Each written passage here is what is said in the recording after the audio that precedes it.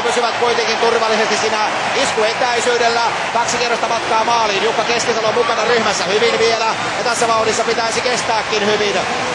Pikkuhiljaa sieltä aletaan parannella asemiaan. Eli siellä parantelee asemiaan nyt Günther Weidlinger. Hän on kakkosena. Tari neljäntenä, Espanjan kolmikko siinä Potapovicin ympärillä. Ainoastaan Cesar Perez, pitkätukkainen espanjalainen on siellä Jukka Keskesalon kanssa viimeistä edellisenä viimeisenä Radoslav Poplavski ja kohta alkaa huikea armoton kiritaistelu. Mustafa Muhammed saa vielä pitää paikkansa.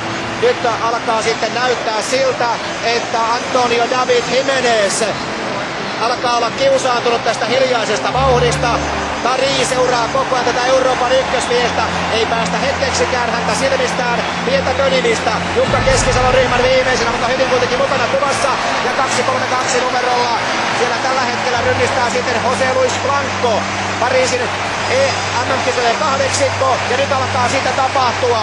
Kun lähdetään näkee kuluttua viimeiselle kierrokselle, Blanco pistää selvästi sen verran paljon tökkää pesään, että ero alkaa syntyä. Nyt Jukka mukaan ryhmään, mutta Povic putoaa.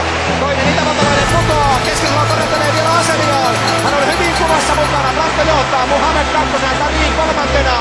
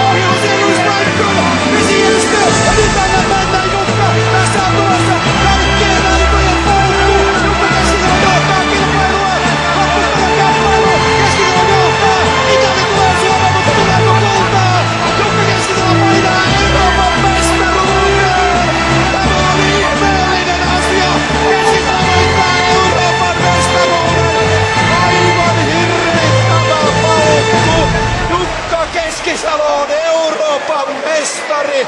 Vauhti oli petattu Keskisalolle. Voi aavistus, mitä voi tapahtua urheilussa.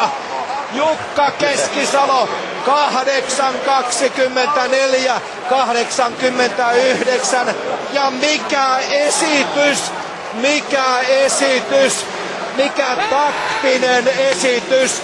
Tämä oli niin valtaisa paukku. Tämä oli niin valtaisa paukku ja vauhti oli petattu. Se Kyllä. oli petattu Kyllä, Jukalle. se on. Ja mikä ratkaisu? Jose Luis Blanco, hän teki työtä ja Keskisalo ilmiömäisellä 300 metrin kirillä.